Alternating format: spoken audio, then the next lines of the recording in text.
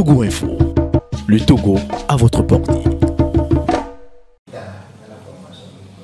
Non, vous savez, rien euh, constitutionnellement n'oblige le chef de l'État à courir pour, euh, je sais pas, nommer un Premier ministre et que ce dernier puisse former un gouvernement. Rien ne l'oblige.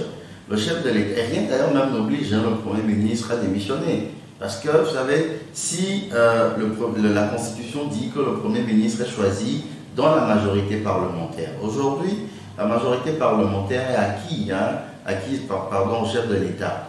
Donc si le chef de l'État euh, veut reconduire M. Classou, il est libre de le faire. Et, rien n'oblige aussi M. Classou à déposer une démission. Si maintenant le chef de l'État demande à M. Classou de déposer une démission, alors il peut le faire. Alors si je crois qu'il revient au chef de l'État d'apprécier la chose, mais euh, dire que il faut avoir un autre gouvernement, il faut forcément former un autre gouvernement, il faut un autre Premier ministre, constitutionnellement rien ne le, prévoit. Mais non, dans les faits, peut-être je pourrais dire que euh, les gens n'apprécient pas le gouvernement de M. Classou, et moi en premier, parce que je dis c'est un gouvernement qui n'a rien foutu. Et, moi, si je devais donner un conseil, je demanderais à ce qu'il puisse vider le plancher et que d'autres puissent arriver.